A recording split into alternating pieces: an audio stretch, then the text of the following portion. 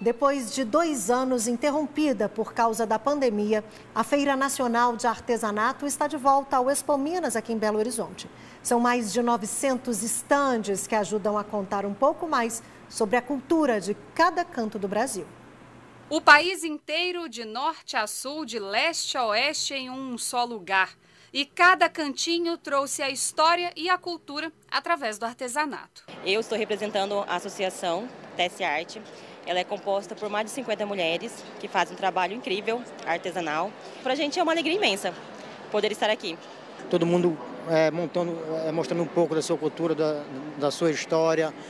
Então, realmente, a gente só tem a agradecer né, ao Estado de vocês por, por promover né, esse belíssimo espaço. A Feira Nacional do Artesão tem mais de 900 estandes com expositores de todo o país e de partes do mundo além de mais de 30 etnias indígenas. Depois de dois anos de restrições, a feira trouxe toda a mistura brasileira. Quer dizer, aqui na Feira Nacional você tem a oportunidade de ir para o Ceará, do Ceará você vai para o Rio Grande do Norte, Rio Grande do Norte você vai a Rondônia, Roraima, dá uma chegadinha no Rio Grande do Sul, sabe? passeia por Minas Gerais toda. A expectativa é que 130 mil visitantes passem pela feira até domingo. E este ano tem novidade para quem não puder comparecer. Todos os estandes da feira vão estar em uma plataforma digital para que visitantes de todo o país e também do mundo possam visitar a feira, conversar com os expositores e também fazer compras. A feira na modalidade virtual vai estar disponível do dia 20 de dezembro até o dia 20 de novembro do ano que vem.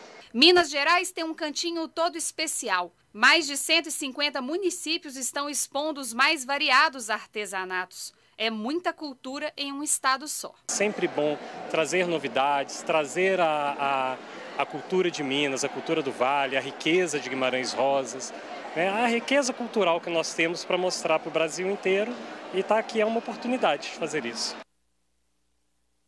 Feira Nacional de Artesanato pode ser visitada amanhã, de duas da tarde às nove da noite. Sábado e domingo, a partir das dez da manhã. Os ingressos podem ser retirados na internet ou comprados na portaria do evento. O Expo fica na Avenida Amazonas, 6.200, no bairro Gameleira, região oeste da capital.